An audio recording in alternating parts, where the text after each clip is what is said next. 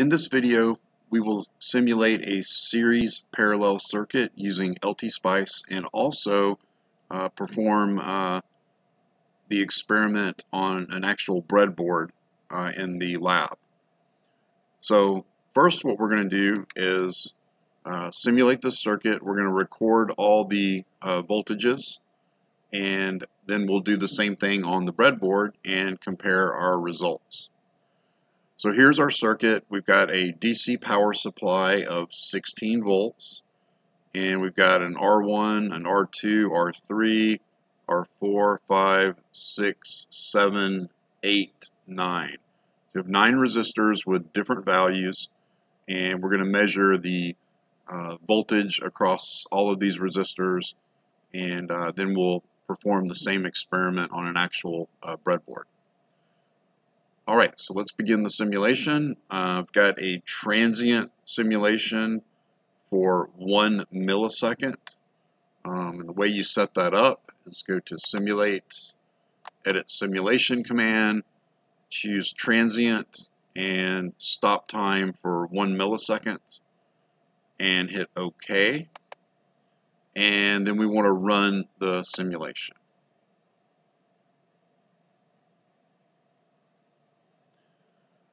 Alright, so you can see here, now we've got a, a waveform viewer. Uh, and if you look on the horizontal axis, uh, this is uh, time, and it's going up to one millisecond, which is what we specified.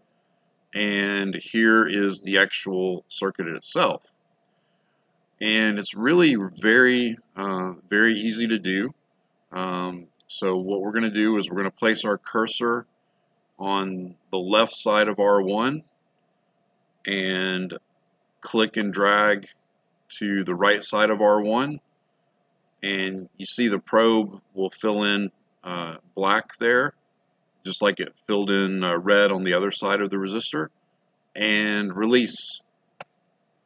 And we can see that this is uh, 3.30 uh, volts and if you want to get an even more uh, precise reading you can actually add a uh, if you right click and add a cursor so let's attach a cursor that brings up this window here and you can get even uh, a more accurate reading. So this is 3.309, so I'll round that up to 3.31.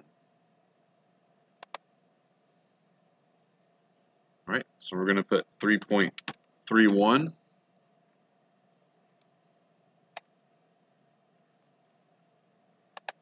volts.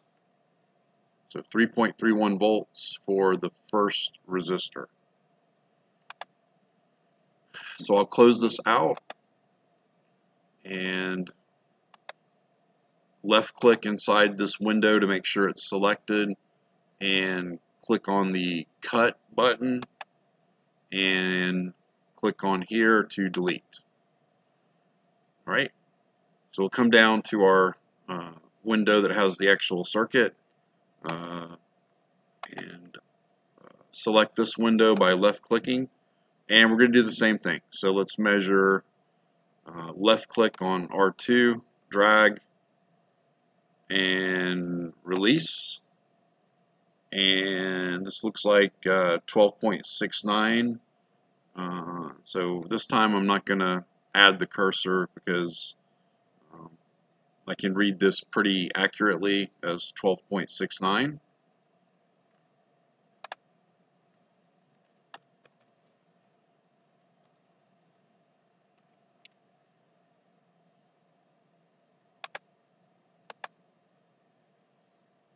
Go back here, make sure I've selected the waveform window and I've got the scissors icon.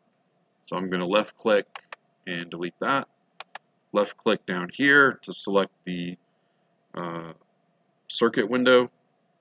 Do the same thing for R3. This is also 12.69.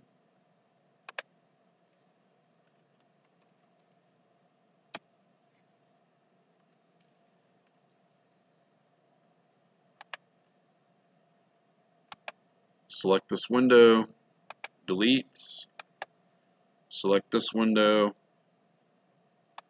measure R VR4. This is uh, 4.60. So again, I don't really need to attach that cursor. I can get this to uh, hundredths uh, precision. So 4.60 volts.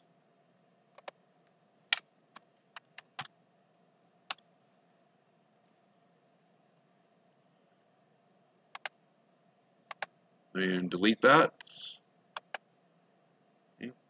Now R5, R6, R7, they're all in parallel, so they're going to have the same voltage, but I'll, I'll do them individually anyway. Um, now this is 421, about 422 millivolts. So that'll be 0.42 volts.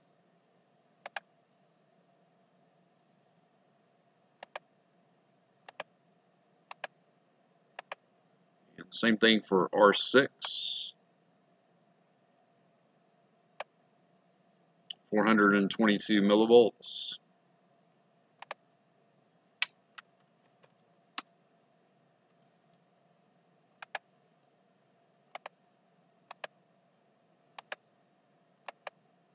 R7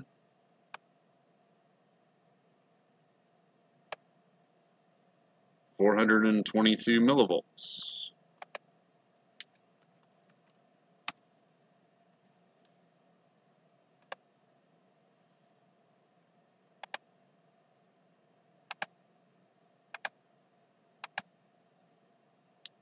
Measure the voltage across R8. This is looks like 7.437. Uh, so we'll round that to 7.44.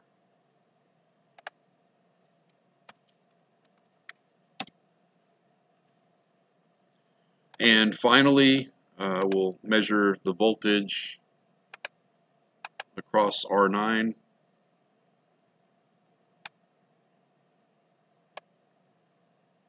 And this is right at 228 uh, millivolts. So we can round that to 230 millivolts. So 0.23 volts.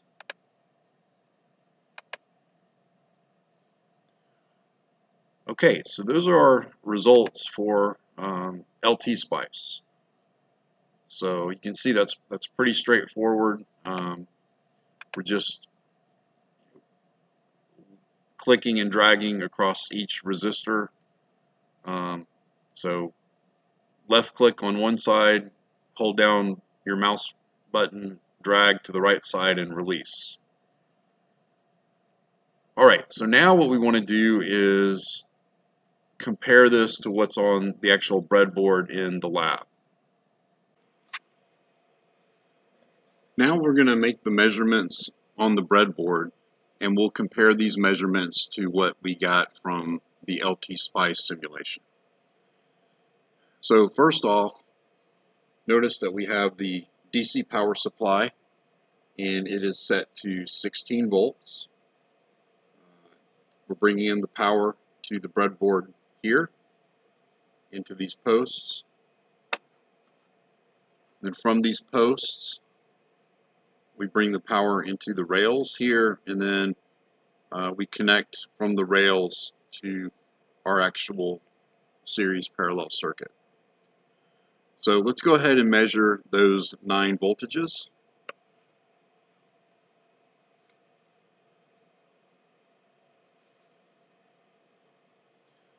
VR1 is going to be across resistor 1. So I'll go ahead and measure that and we'll observe what we get on the multimeter. So we're going to make sure the multimeter is set to DC volts, okay, and that we have our uh, our, our, probes plugged into uh, these two places here. Okay, so let's measure VR1.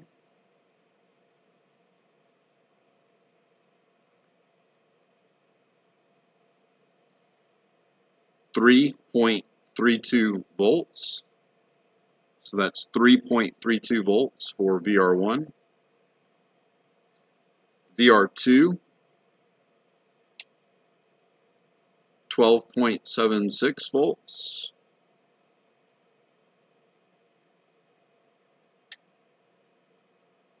VR3,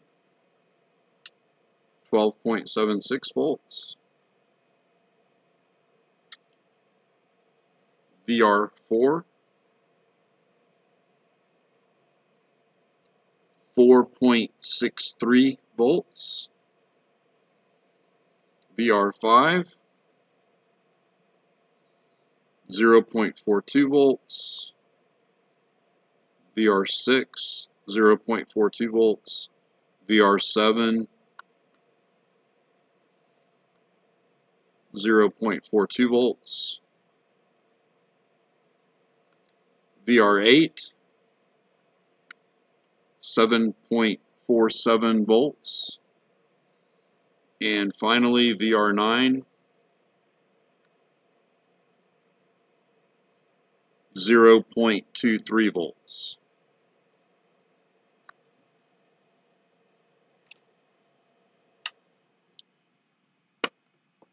Okay, so now let's compare what we got with LT Spice.